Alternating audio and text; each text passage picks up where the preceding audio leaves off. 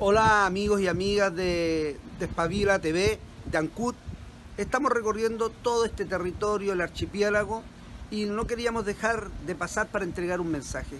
Primero, que hay sin duda muchas dificultades con el empleo, cuestión que ocurre en, la, en Ancud, pero también hemos mirado y observado que pasa en distintos lugares de Chile donde hay situación de crisis y que los gobiernos a nivel de la región y a nivel central no son capaces de atender y resolver una necesidad que es urgente e inmediata.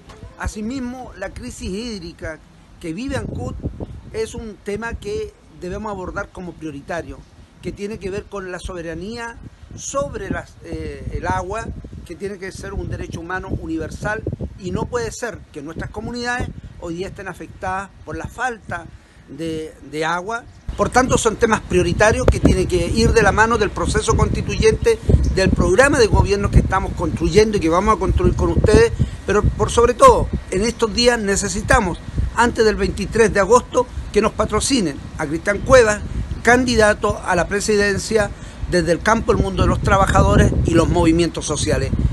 Busca en la tercera página Cristian Cuevas, no te compromete a ningún partido político, sino a las causas justas de los pueblos de Chile y sin duda de Ancud. Porque no podemos que el pesimismo nos inunde. Lo principal es que nosotros no vamos a aflojar a la solución del conflicto si no se resuelve el tema de los despidos, y le hemos sido claros en eso, y también del pago de los días de huelga.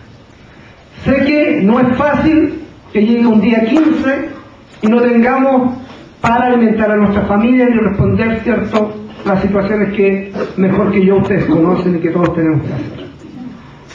Pero también no podemos aflojar. Y ellos dicen, qué difícil esto, cristianos, pero qué difícil.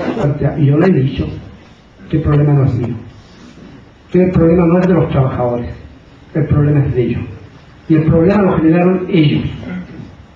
Y que nosotros no podemos irnos al trabajo si acá no hay beneficios para los trabajadores. Se le ha maltratado, se le ha violentado psicológicamente, se han allanado viviendas, se nos persigue y se nos vigila. Y quieren que nosotros nos desesperemos. Y no, yo lo llamo a no desesperarse, a mantener la confianza, a mantener la garra. Porque esa es la única forma, porque si nos neutralizan y nos invade el miedo, cagamos nosotros y los tenemos agarrados y no podemos arrojar. Así que yo lo llamo a unirse, a cuestionarse y a salir a la calle a luchar. Porque esta batalla la vamos a ganar por la buena o por la mala.